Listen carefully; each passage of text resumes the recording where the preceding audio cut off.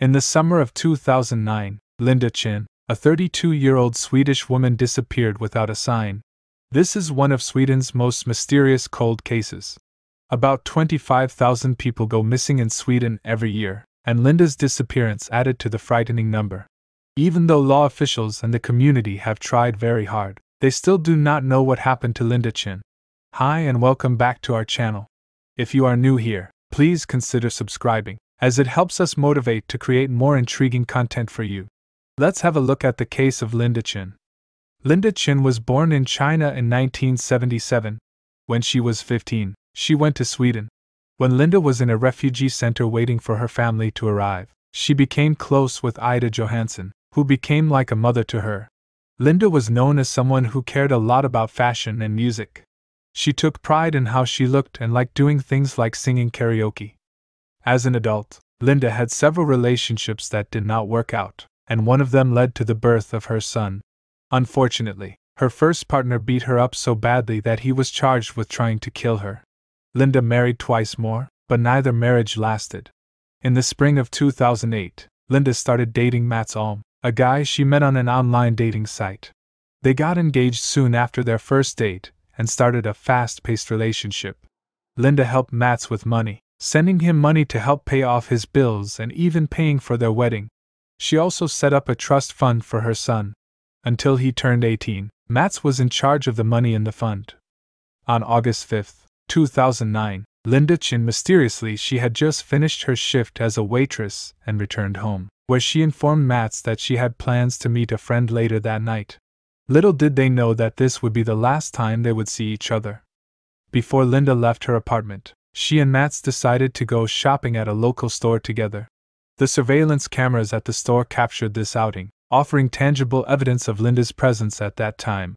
It serves as a crucial reference point in the investigation, providing a concrete timeline of her activities before her disappearance. After their shopping trip, Linda and Mats embarked on a drive lasting approximately two and a half hours. Their purpose was to scout out potential places to visit for Linda's family, who were scheduled to attend their wedding. This drive signifies the couple's anticipation and excitement for the upcoming celebration, demonstrating their commitment to ensuring a memorable experience for their loved ones. After returning home, Linda and Mats shared a meal together, savoring their time and enjoying each other's company. Following dinner, Linda began preparing for her night out, likely eager to meet her friend as planned. The details surrounding this friend and the purpose of their meeting remain unknown, leaving a void in the narrative of Linda's final hours. At 9 p.m., Linda left her apartment, bidding farewell to Mats. Little did they realize that it would be their last interaction. The circumstances surrounding Linda's departure and subsequent encounter with her friend remain shrouded in mystery, as no further sightings or evidence have come to light. The police investigation became suspicious when no witnesses could confirm Mats' version of events regarding Linda's movements after she left their apartment. Despite inquiries, no one could confirm seeing the couple return home from the supermarket or witness Linda leaving her house at 9 p.m.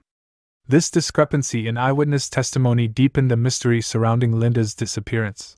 Linda's family, in particular, found it odd that Mats claimed Linda did not change her clothes before going out as she typically enjoyed dressing up for social outings. Linda had a strong interest in fashion, and her friends and family considered it unusual that she appeared less interested in her appearance on the night she vanished. These inconsistencies further fueled speculation and cast doubt on Mats' version of events. Investigators and Linda's loved ones questioned the accuracy and credibility of Mats' statements, wondering if he might be withholding crucial information or potentially involved in her disappearance. As the investigation continued, the police sought additional leads and evidence to uncover the truth behind Linda's vanishing. The focus shifted to gathering more information about Mats' background, relationships, and possible motives, hoping to find any clues that could shed light on Linda's fate. The authorities also intensified their efforts to locate potential witnesses who might have seen or interacted with Linda on the night she went missing. Despite these diligent efforts, the case remained perplexing and no concrete answers emerged. The investigation into Linda Chen's disappearance became one of Sweden's enduring unsolved mysteries, leaving her family and friends desperate for closure and justice. As the police started their investigation, they became more and more sure that Mats was involved. No one saw the couple come home from their shopping trip, and no one saw them on their long drive either. There were differences between what Mats said and what the records at their wedding reception spot said, which made the mystery even bigger. Even though a lot of people looked for Linda, no one was able to find out where she was or what happened to her. In the midst of Linda's unresolved case, the alarming events surrounding Mats Alm continued to unfold, deepening the mystery and raising further questions for investigators. As news of Mats' suicide attempt spread, it sparked speculation about a potential connection between his actions and Linda's disappearance. The timing of Mats' desperate act, occurring on the same day he was scheduled for a police interview, raised eyebrows and intensified suspicions. Investigators delved into his mental state, attempting to understand the possible correlation between his suicide attempt and Linda's vanishing. Was Mats overwhelmed by guilt, or hiding a dark secret that pushed him to the brink? While Mats remained in critical condition at the hospital, authorities faced a dilemma. They grappled with the possibility that Mats' suicide attempt was not only a manifestation of personal despair but also an attempt to evade or divert attention from his involvement in Linda's mysterious case. The police meticulously analyzed the circumstances leading up to Mats' suicide attempt, seeking any clues that could shed light on Linda's disappearance.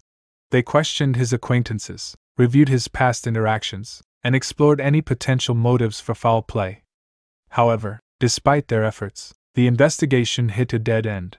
Mats' critical condition hindered any immediate interrogation or clarification of his involvement. The unanswered questions surrounding his suicide attempt, combined with Linda's inexplicable vanishing, formed a web of uncertainty and intrigue that continued to perplex both the authorities and the public. During his healing, Matt said that he could not remember what happened before Linda went missing. He claimed that he was innocent and had nothing to do with her going missing. But since there was not any hard proof or leads that pointed to other possible suspects, the investigation stayed focused on Mats. Due to whispers and speculation, people in the community began to think that Mats was the main suspect. Online conversations and media coverage made people look even closer, which made people angry and make them want justice. People held vigils and protests in Linda's name to ask the officials to solve the case and give her family closure. Even though the heat was building, the investigation led nowhere. The police had a hard time making any real progress because they did not have any physical proof, witnesses, or good leads.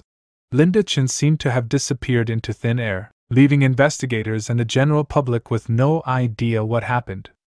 Over the years, the media stopped talking about the case as much, but Linda's family and friends and people who are interested in unsolved riddles never forgot about it. The community continued to feel a deep sense of loss and anger because they did not know why she had gone missing. The loss of Linda Chen is still one of Sweden's most mysterious and puzzling cold cases. Even though there have been a lot of studies, no one knows where Linda is or why she disappeared. The fact that Linda's then fiance, Mats Alm, was a suspect made the story even more interesting.